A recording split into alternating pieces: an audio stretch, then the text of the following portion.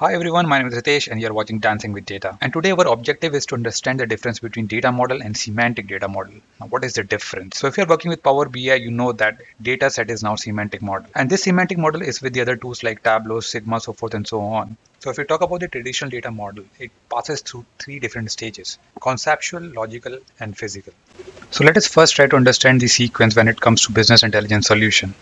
You first start with data modeling at data warehouse level or say database level. And when this data warehouse or this database is available to use, available for your business intelligence tools like Tableau or Power BI, you again create a semantic model specific to your project or your domain and we call that as a semantic model and somehow later on when i will explain you'll get to know that semantic model is nothing but a subset of data model before we move further i'm giving my tableau desktop specialist certification course at 50% discount use discount code diwali50 and you'll get all the details at the description and comment section. Now let's move on. Why do we even need a data model?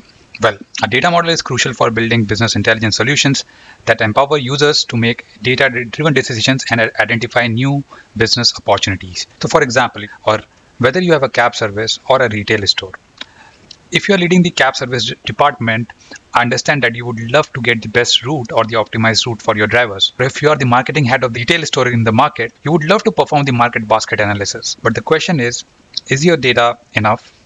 Is it in good shape? Are the relationships defined? So forth and so on. So you just don't create tables and populate data, but you do it.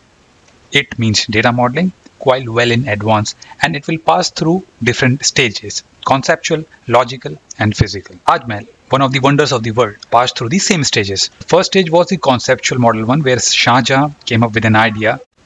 Similarly, when we take example of retail store, in the conceptual data model stage, we are talking about the business concept.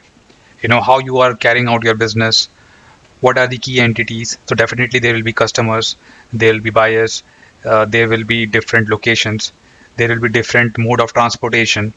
There will be suppliers as well.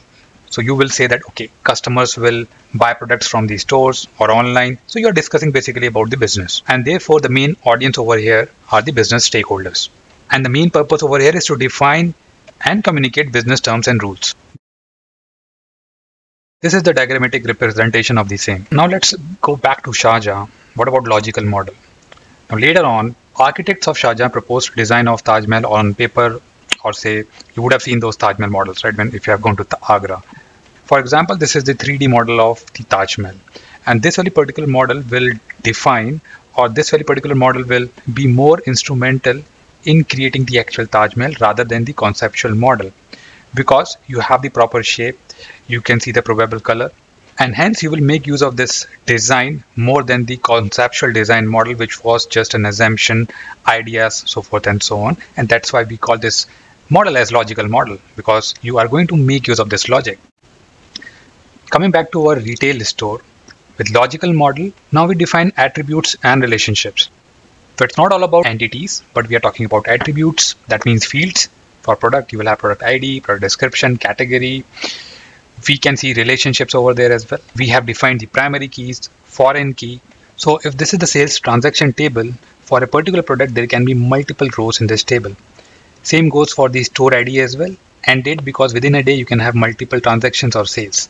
So now here you define clear relationships and this is much closer to influence the ultimate physical model design or physical data model. The main audience over here are data architecture, business analyst and this is the data model you pretty much replicate with Tableau, Power BI in the form of semantic model. That'll come later, just wait for that. The physical model for Shah Jahan is nothing but the final construction of Taj Mahal where you will have the raw material, the actual raw material, and you decide from where you need to get it. Now with retail database model, you have the logical model with you and now you are in a position to pick or choose Oracle database, Microsoft SQL Server, equivalent to raw material of Taj Mahal. And now you have the proper name, nomenclature, data type, length of data type with respect to the database that you have chosen for yourself. For example, DUAL, dual, that you have something with Oracle. So you will not define any table as dual because this is an inbuilt table for Oracle. In addition to what we have discussed, you may have indexes to improve the performance of database. You may have triggers. You will have uh, security for sure. So you define persona specific security Now imagine that you have successfully deployed your BA solution in terms of data warehouse. Your application is up and running. So let's meet in the second part for the detailed discussion of the semantic model. You can get that link at the description as well.